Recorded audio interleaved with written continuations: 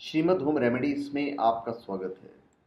और हम आपको बताएँगे कि चाय कभी भी थोड़ी सी ठंडी करके पीनी चाहिए। खोलती चाय कभी नहीं पीनी चाहिए। आपको इससे सावधान हो जाना चाहिए।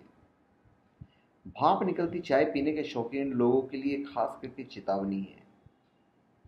आप गर्मा गर्म चाय पीकर न सिर्फ़ भोजन की नली को झुलसा रहे हैं, बल्कि कैंसर का खतरा भी बढ़ा रहे हैं। और ये हम नहीं कह रहे हैं भैया, ये संयुक्त राष्ट्र की कैंसर एजेंसी कह रही है।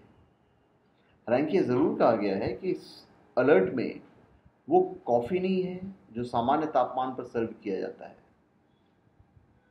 International agency for research of cancer के निदेशक जो हैं, क्रिस्टोफर नाम है उनका, क्रिस्टोफर वाइल्ड।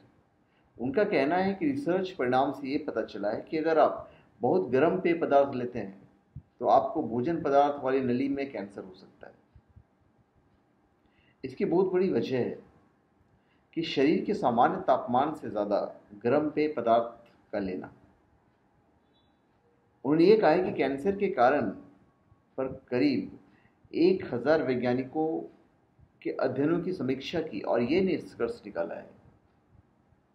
एजेंसी ने पाया कि कोई भी पेय पदार्थ ऐसा नहीं है जिसमें कैंसर का अधिक खतरा दिखता हो। लेकिन कुछ तथ्य ज़रूर सामने आए हैं।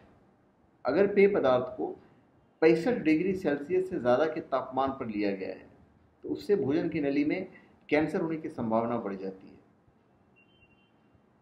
ये रिसर्च हालाँकि भारत में नहीं किया गया है, लेकिन चीन, ईरान, टर्की, दक्षिण अमेरिका में किया गया है।